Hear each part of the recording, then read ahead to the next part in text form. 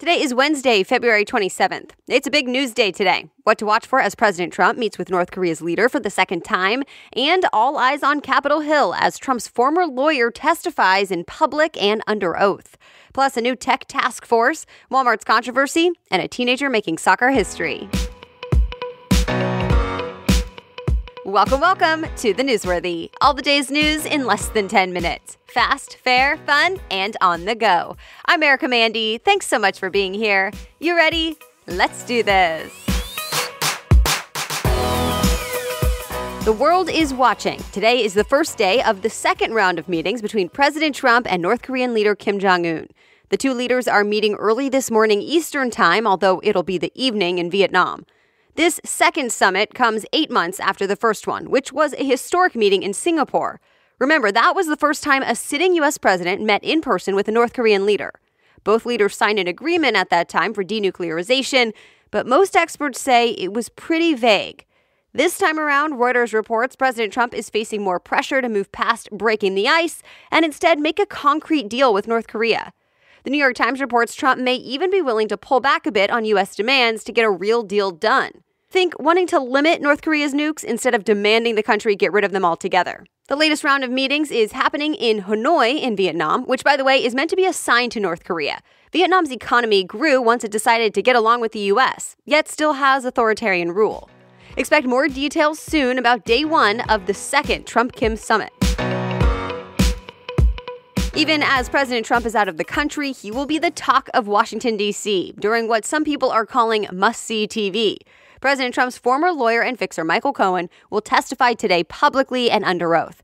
The AP reports he's expected to talk about what he'll claim is evidence that President Trump lied, cheated, and committed crimes.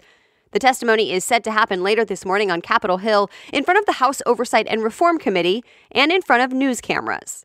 Remember, Cohen was once loyal to Trump, but he turned on his former boss and started cooperating with the special counsel in the Russia investigation. He pleaded guilty to lying to Congress and committing campaign finance violations. He says it was all at the direction of the president. But the White House continues to call Cohen a liar who was just looking for a shorter prison sentence for himself. Cohen is scheduled to start his three year prison sentence in May, and Bloomberg reports he was also just disbarred in New York, which means he can no longer practice law. Thousands of children who crossed the U.S. Mexico border say they were sexually abused while in U.S. government custody. USA Today reports newly released government documents show more than 4,500 children said they were assaulted after crossing the border alone or separated from their families. The allegations go back about four years. Most say they were abused by other minors, but some point to the adults in the local shelters. Officials at the Department of Health and Human Services say they are taking the allegations seriously and plan to investigate.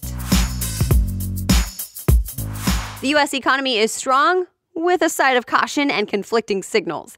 That's what the Federal Reserve Chairman told a Senate committee this week.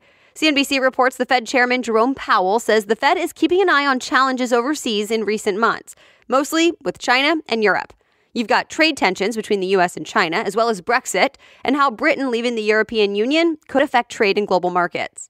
The Washington Post says Powell also called it very troubling that so many Americans aren't working even with a record number of job openings in the country.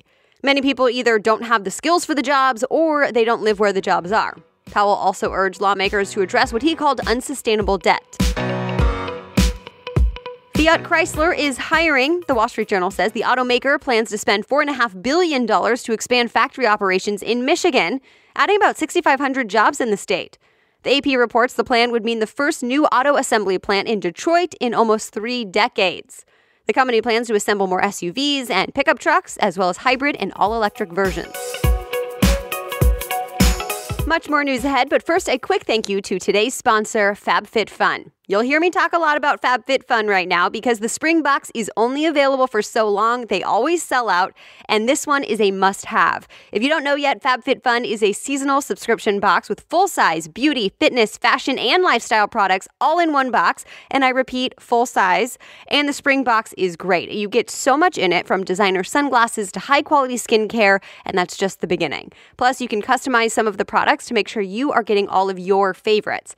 And it's such great value. FabFitFun retails for $49.99, but with every box, you get a value of more than $200. Plus, the Newsworthy listeners can use the coupon code NEWS for $10 off your first box. Just go to fabfitfun.com and use the code NEWS, N E W S, and you'll get $10 off your first box. Go ahead and make it feel like your birthday four times a year. Now, back to the news. Two new things to know about the Federal Trade Commission, or FTC. First, there's a new task force all about taking on big tech. The goal is to basically keep an eye on big tech companies like Facebook and Google and make sure any mergers don't hurt competition and ultimately hurt consumers. Also, of note this week, the FTC brought its first case against using fake reviews to sell online products. TechCrunch reports the company Cure Encapsulations is accused of making false claims about weight loss supplements and paying a third party website to write fake reviews on Amazon. They've apparently agreed to settle. Walmart greeters will now be called customer hosts, and the new name comes with some new requirements and controversy. NPR reports people with physical disabilities feel targeted by the policy change because a customer host must be able to stand, climb a ladder, collect carts, and lift 25 pounds. Walmart says it'll give workers with disabilities more time to deal with the job change, but some employees who lost their jobs have already filed a lawsuit. So, what are the most in demand jobs right now? Yahoo Finance made a list of jobs with the most openings in 2019 in each U.S. state using data from the Bureau of Labor Statistics. The report found food preparers are needed the most in 20 different states across the country, including Utah, Illinois, and Rhode Island. There are the most openings for cashiers in 16 states like Connecticut and Arizona. California, New Mexico, and West Virginia have openings and more growth expected for personal care aides. You can see the full list and the map in today's show notes. Olivia Moultrie. That probably will not be the last time you hear her name. She's a 13 year old professional soccer player, sort of, who is making history. The New York Times says she just signed a deal with a sports agency and an endorsement deal with Nike that pretty much started her pro career.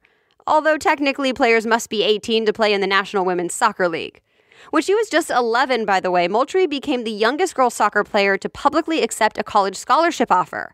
And now she's the youngest to officially give that up to go pro. Her Nike deal was reportedly worth more than a four year full ride scholarship. We now know who will officially take Kathie Lee Gifford's spot on the fourth hour of the Today Show. It's Jenna Bush Hager. She'll be co hosting with Hoda Kotb. A few months ago, Gifford said she'll be leaving the show in April after 11 years there to work on some other projects. Jenna Bush Hager has filled in before. She's an author, journalist, and the daughter of former President George W. Bush.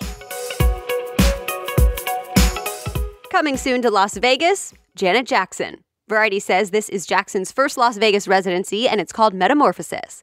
The show starts in May and will center around Jackson's life. Of course, you can expect dancing and all of her hit songs. In fact, the show will feature a 30 year anniversary of her album, Rhythm Nation. Tickets go on sale this weekend. And that's it for today. But remember, you can always read more about the stories we talked about at thenewsworthy.com. Just click episodes and look for today's date. Thank you so much for listening. The Newsworthy is ready for you to listen every weekday by 4 in the morning. I'll be back with more news tomorrow. Have a great day.